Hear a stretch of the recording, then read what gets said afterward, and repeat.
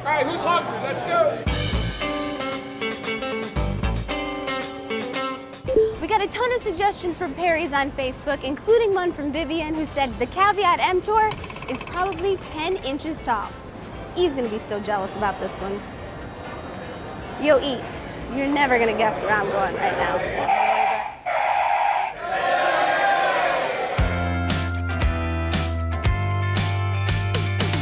Freaked me out a little bit when I walked in. We get this crazy line out the door. People would be on their cell phones and they would slow up the line. So he put in this buzzer.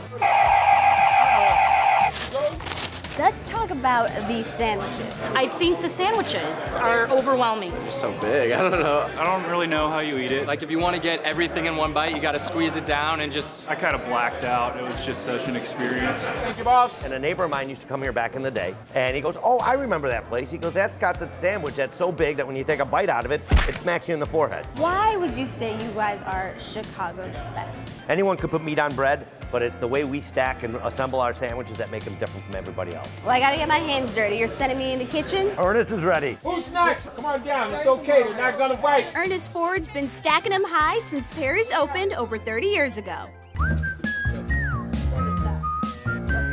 Today, he's gonna teach me how to make Perry's largest sandwich. The Caveat Emptor. Let's do it. I'm ready.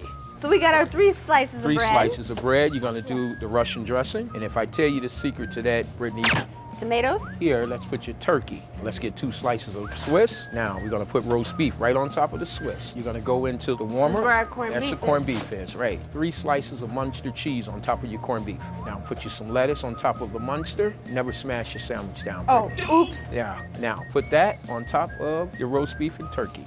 Booyah! This looks unreal. I don't know how I'm gonna take this down, but I'm gonna try. Oh, it's really stacked up. I get one sandwich, but I really get two lunch meals. They're so stacked they can fall over right on your plate. I can only come here once every few months because it's such a big meal. Don't be intimidated.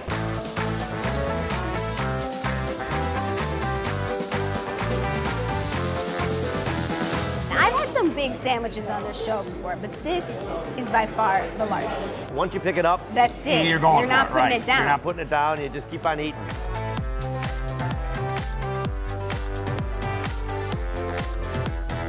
The meat's super fresh. That Russian dressing. It makes I it, mean, doesn't give it? me some of that on the side. I will just slather that all over because that's delicious. Great flavor. This is the juice. That's our oven roasted brisket.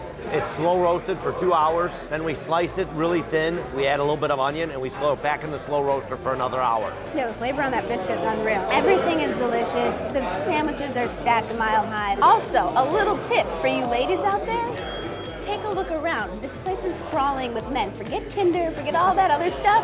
Just come to Perry's Deli at lunch and you're sure to find a date. Chicago's best. Advice.